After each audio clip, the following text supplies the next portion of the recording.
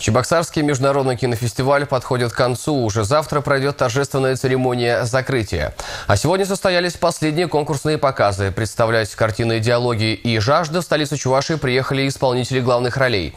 На этих сеансах побывал и мой коллега Дмитрий Ковалев.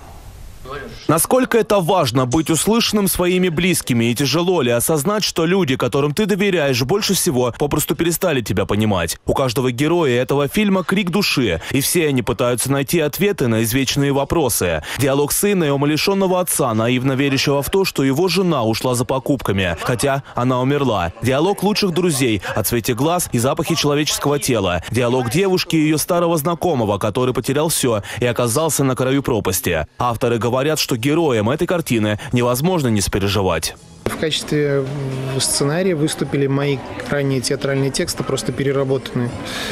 Вот.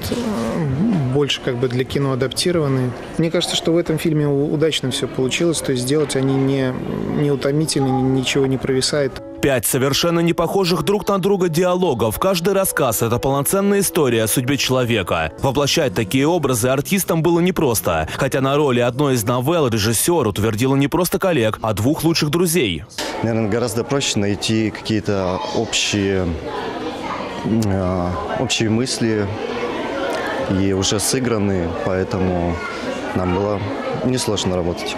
А картину режиссера Дмитрия Тюрина каждый зритель сможет прочитать по-своему. Кто-то увидит кино о войне, а кто-то о дружбе и любви. Герой этого фильма стал инвалидом в Чечне. Вернувшись домой, он пытается найти себя. Костя живет один и боится мира за окном. Но все меняется после того, как без вести пропадает его боевой товарищ. Актер Роман Курцин сыграл в этой картине одну из главных ролей. Говорит, что после просмотра фильма многие зрители изменят свое отношение к участникам локальных конфликтов. Главная история в нем – это надежда на то, что все-таки э, мы все не с каким-то гранитным камнем внутри вместо сердца, а все-таки становимся людьми.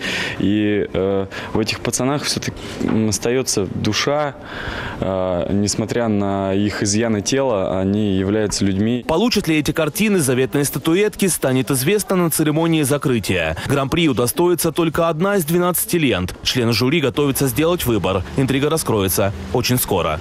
Дмитрий Ковалев и Александр Петров. Республика.